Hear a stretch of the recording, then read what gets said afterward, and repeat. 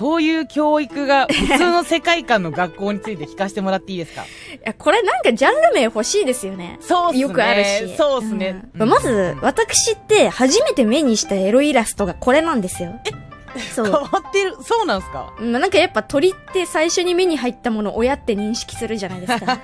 これが親ってことですか？これが親か。なんか、幼少期の刷り込みやっぱでかいと思うんですよ。ああ、いやまあ、うんでもそれはそうかもなそううん、うん。専門のなんかエロサイトがあって、はい、迷い込んだんですね。迷い込んじゃって、はい。でもはいはいそこでやっぱ目覚めがあったので、まあ、そりゃ好きになりますよねっていう。思い出の作品でもあるそうなんですよ。ちょっと納得しちゃう。うまいな。え、どっちなんだろう。電車は、よりファンタジーに近い方が好きで、ああ、現実に即してないっていう。電車、この車両一度名を上げていきますみたいな。はいはいはい。うわ、逆だわ。ちょっと待って。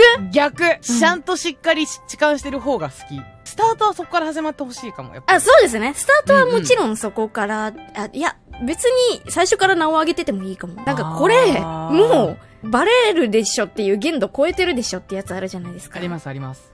ああれでいいあれがいいですけど。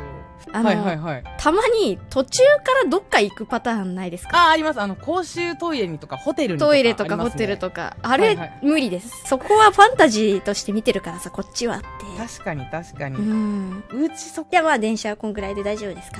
ちなみにあの、対象っていうか、その、されてる側って、あ、なんでもいいですね、割と。弱気な子だったりとか、まあ、弱気でも強気でも別に、あなんでもいいです。うんじゃあ、ノリノリかどうかはどっちがいいんですか？最ノリノリはダメです。あそれだけは勘弁してください。白か？二なり女かける男行きましょう。これ好きなんすよ。あ、ただ検索が本当にどうしていいかわかんない。あ確かにね。ですよね。これ、女性攻めというわけではないので、M 男子のを探せばいいわけじゃないんですよ。だからすごい難しいんですけど、でもこれは男性がされてるのすげえ好きなんですよ。なんならその、うん。全然男男した男性がうんうんうん、二なり女。だから例えば気軽に口説いた相手がはい、二なりのこの女性で、で、その、そうそう、なんならちょっと一発やってやろうぐらいの悪い考えだったのが逆にされてしまうっていうのがすごい好きなんですよね。そんなつもりなかったみたいなパターンが割と好きです。二なり結構無理なんですよ、私。あ、そうなんすか？例えば読んでるうちに女が二なりだったってことが判明したら、いやーってなっちゃうかも。